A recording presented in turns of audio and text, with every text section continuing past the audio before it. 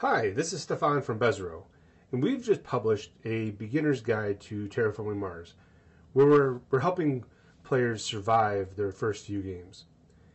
And one area that I would like to really dive deeper into is the first turn, the first set of actions where you are going through your initial hand of 10 cards and cutting it down to size. So I have in front of us here the corporation cards uh, mixed up, as well as the the cards, uh, the player cards themselves.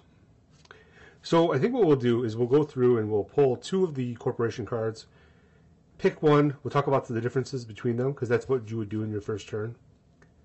And then we'll go through the 10 cards that you pull out for random for your first hand. So here we go.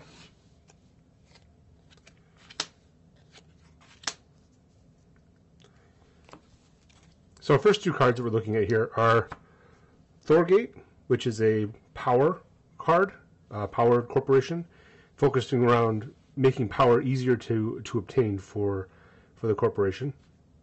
And then Ecoline, basically the same card, but for plants and for making forests. So forests are cheaper, and then you have some forest production, and you have some base forest uh, base plants to to generate at the beginning of the game. So um, they're both really good to to talk through strategies. So we'll do we'll do Thorgate and we'll do Eco Ecoline at a different time. So we'll pull ten cards out.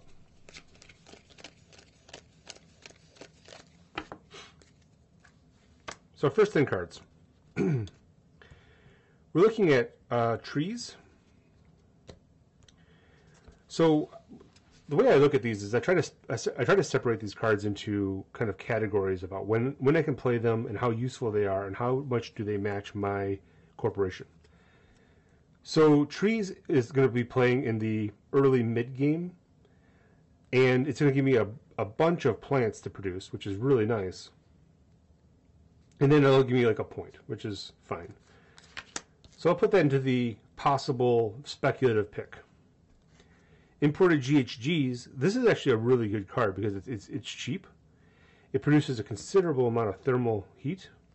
It's a space card, so if I had some of those resources, I could I could pay titanium to make this even cheaper. So I'll put that into the pick category. Hackers, I don't like cards that give me negative points, generally speaking. This card is is interesting because it hurts the opponent for two two production of of money, but it also hurts my production of power, and then gives me some some production of money in the in the process. So I'll put that into the no category. Um, I I wouldn't pay for it. I wouldn't pay three point uh, three three coins, three three megabucks to to purchase this card. Um, and I could play it easier because I am Thorgate, and Thorgate has an easier time of getting power. But I just generally don't don't like these cards. Windmills, power card. It's cheaper for me goes into the take category. Noctis Farming. So this is a decent card. It's it's an early pick card because you can you can play it rapidly because of the um, the temperature requirement is is fairly low. So we can put this in the keep category. It's it's not going to produce a lot for us. It's just producing megabucks, but it also gives us a point. Vesta Shipyard. This is a great card.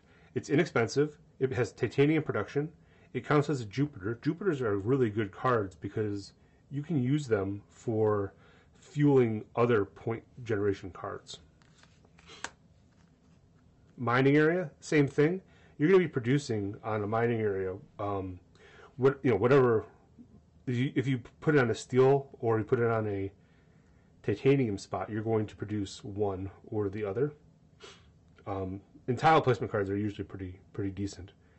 This one requires you to place an, area that is adjacent to another one of your tiles. So that's that's the drawback. That, that's what makes it harder to play this one. But this goes into the keep category. Open City. This could be our uh, tile, except that it requires 12% oxygen, which is towards the end of the game. I don't want to hold on to this card the entire game. Let me put that into the no category. Miranda Resort. So this is another Jupiter card, which is great. It gives you $1 per Earth card that you have in play, and then a point. So I'm looking at my cards, and I don't see any Earth cards, and my next card's not an Earth card either. So I'm gonna I'm gonna veto this card because I can't I can't leverage it early on. And I don't know if I'll ever be able to leverage it. So the last one here is Corporate Stronghold, and it has a uh, well negative two points, which is which is a penalty. But you're building a city, and you're building a city for really cheap. This could actually even be our card that can help play the mining area. So I'll definitely put this in the keep category. So I've got six cards, and our desired range is typically four to six. And you can see how naturally that that four to six happened while I was getting rid of these, going through these cards. And I'm going to put the trees into the do not take category because I've got enough, and I can't play this until the mid game anyway. So these become my my keep category for Thorgate. Um, I didn't get a lot of power cards, but that's that's okay. I mean, sometimes that happens, and I'll get power cards coming up um, probably in the early picks. Let's do another one. So I'm looking at the top two cards. They are the United Mars Initiative. So this card is really focused around helping you get terraforming rating, terraform rating. Um, so you get a you get to play at three points to get a terraform rating, which is really cheap.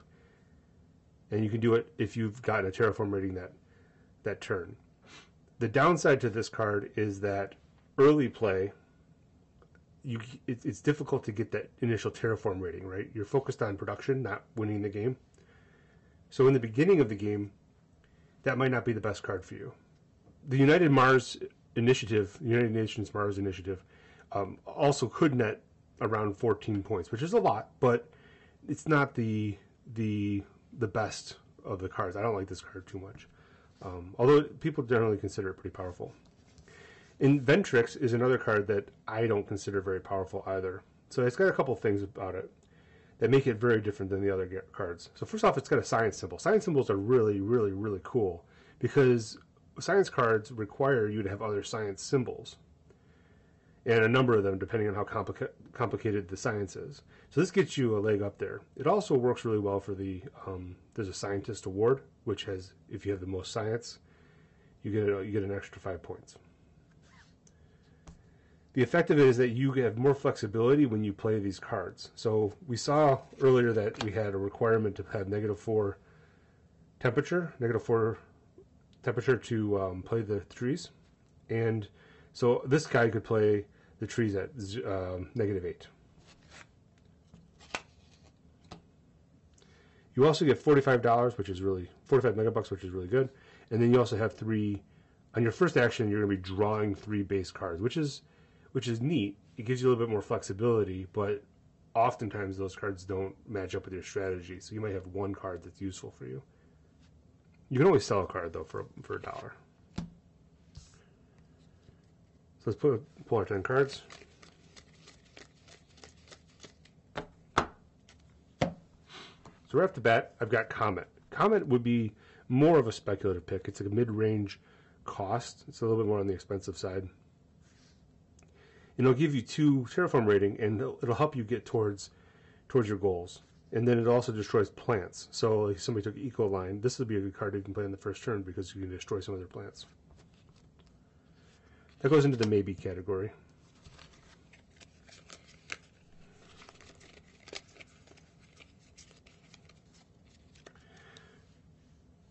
So caretaker contract, I do not care for this card too much. And the reason is because eight thermal 8 heat can turn into one terraform rating by raising the temperature. This becomes a decent end game card when I'm trying to spend my my heat energy in another way because once you once you max out the temperature of the planet the the heat energy doesn't have a whole lot of use unless you have um, the thermalist so this is a good way to get points, but only at the end of the game. And so do I want to hold on to this card until we have zero degrees? And the answer, to, and I don't know if I'm going to have enough heat production. So we'll put this into the maybe category, but probably not. Water import from Europa. So this is a cheap way to generate a lot of oceans. And the the added bonus is one, it's it's 12 megabucks, but then also it uses titanium. So if I had a strong titanium import, I could use this card. It also produces a lot of points if I if I have invested a lot into Jupiter's. So this goes into the maybe category as well. We have energy savings. So energy savings is is neat for an end game card because at some point I'm going to have a lot of cities on the board. If I have a lot of cities, then I can produce a lot of power really quickly. And power can be used to fuel a lot of science-based buildings actually. So um, this would go into the speculative purchase pile as well. We're not seeing a lot of great cards for this one.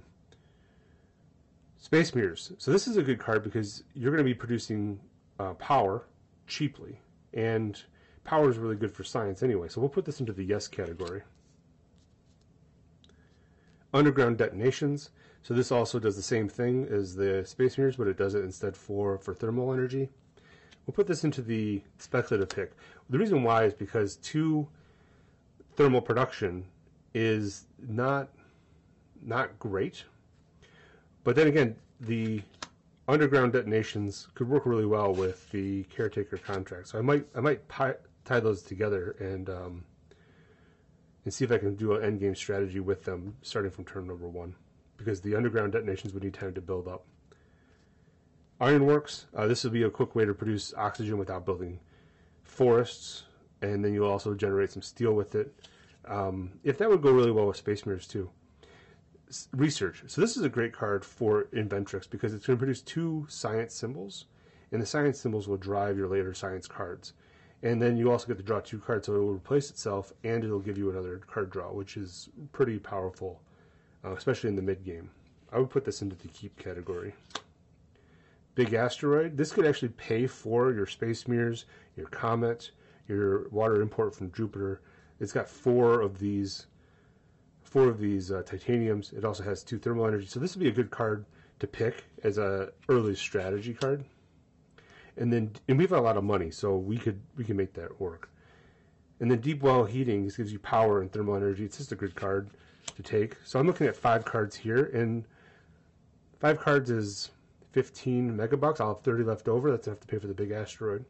I could potentially pick up one more card that I could utilize after playing the big asteroid within the first two or three rounds.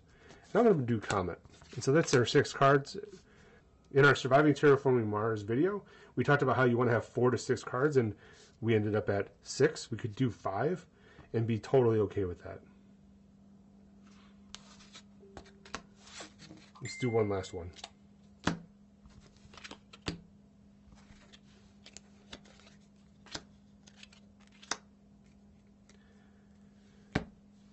So I've got two of my favorite cards in front of us. Um, Saturn Systems. Saturn Systems is a Jupiter card. So we saw a lot of Jupiter cards that produced a lot of points with having more Jupiters. And so this would actually give you one point with that. Anyway, the other thing to note here is that it produces a titanium every turn, and that's used to fuel a lot of the Jupiter cards. And then whenever you play a Jupiter card, you get an extra megabucks. The second one here is Tharsis Republic, and this one has a similar kind of situation. So it's whenever anybody plays a city, you get a megabucks, and then whenever you play a city, you get three three megabucks to go with it. So you get a production or three and, and three megabucks. And this plays really well with all the other city cards that are out in the game, and they both have similar similar uh, starting money. So what we're going to do, we'll do Saturn systems. So geothermal power is our first card that came up. It has a lot of pro- a lot of production of energy of power, which is great, and it doesn't cost a whole lot. I want to put this in the keep category because power can fuel a lot of cards. Adapted lichen. So adapted lichen is also a great card because it has most of these plant cards have requirements for playing them, and that's that's can be that can be pretty rough. This one has none, and it gets me a head start on producing plant production, which is amazing. So put that into the keep category. Giant ice asteroid. So this is a huge card, and it's not one that I would like to see typically in my opening hand. And the reason is because it costs 36 megabucks. It does a lot of stuff. This would be a multiple turns of your starting game. So we would put this into the speculative category. Aero braked ammonia asteroid. So I don't like this card typically. And the reason is because you're spending a lot of money on good amount of production actually. But the harsh part is the the microbes. I've got nothing to do with the microbes. And microbes are a rare card set. We went through 30 cards and we well 24 cards, and we haven't seen any microbe cards yet, and so they're not they're not particularly common in this set of the deck with the base game. So I would recommend not purchasing this unless it unless it matched your strategy. So we're seeing a first um, the first Jupiter card and for this for this corporation, and the requirement is already met, which is great. And so that's what usually would make this card hard to play. And it's got a ridiculous amount of production of everything. In fact, I might even sacrifice this geothermal power so that I can keep the beam from a thorium asteroid. We'll put this in the keep category. Even though it's expensive and it might be a multiple turns to play it, it would pay off pretty rapidly. Mohole Area, it's another great card. I'm starting to build up these really expensive cards though, so I might not want to purchase all of them. But Mohole Area is a four thermal production, which is also really, really great. And I might have a thermal strategy here. I have another um, Jupiter card, which is great for Callisto Penal Mines. Um, produces some energy, produces some some points. That also produce points. So we'll put this in the keep category. Adaptation technology. So this gives us the Inventrix power. I'm not a huge fan of this card. It doesn't actually come into play all that often because it's very it's not terribly common that you are within two like ratings of one of these categories to build something. Um, there's a lot of cards with a lot of requirements, but you're either solidly on one side or the other of those requirements. I'm gonna put this into the probably not category. Electro Catapult. This is an amazing card for first first couple rounds. It requires um, has max max oxygen requirements, and it has to have a power to produce it, um, to go into it. And I also have to feed it with with uh, plants or with steel. But it produces seven dollars.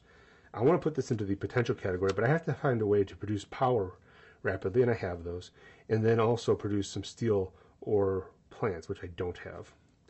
Power grid. If I take these two power cards, I might as well take this power grid card because this will be three power for not a lot of money, um, possibly even more depending on how I draw. So I'm looking at six cards to keep and four cards to get rid of. And the electro catapult's uh, definitely on the maybe side. And I could even go up to seven if I, if I felt pretty antsy with this. And I, and I do. So I'm going to put this one into this category. And do I need all of these cards? And I would say yes, except we could get rid of the power lines. Because I have a lot of thermal production with the thorium asteroids and the th geothermal power. So here I've got six cards to get going with, and that's on the upper end. I also have a lot of money, so if you really wanted to keep the power grid, you could and not have any any big negative outcome from it. And that would be even half our half of our money, and so the 21 would go towards these, and I could even fuel probably two of the cards initially. So if you like this type of content, going through and thinking through some of these games, uh, drop me a like, hit subscribe, and um, and let me know in the comments below and if you disagreed with any of the the thoughts that I had or, or thought process that I went through, um, or if you had some of your own input that you would uh, you would have preferred, let me know in the comments below. And uh, we'll produce more content like this if if uh, if you like it.